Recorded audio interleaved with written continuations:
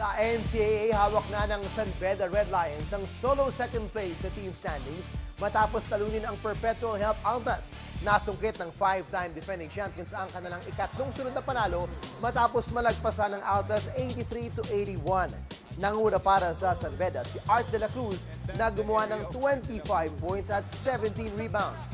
May pagkakataong pasa ng Altas na makatabla sa mahuling segundo ng laban pero nag-error sa inbounds play si Scotty Thompson ng Perpetual.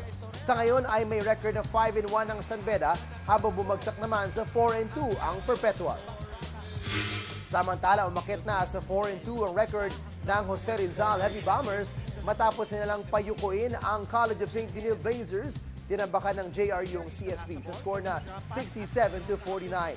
Sa panguna ni Tate Teodoro na gumawa ng game high 21 points, 8 boards and 3 steals.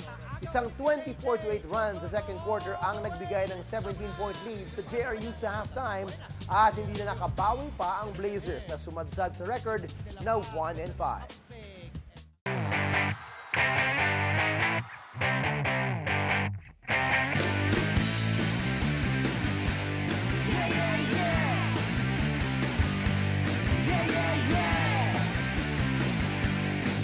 yeah, yeah.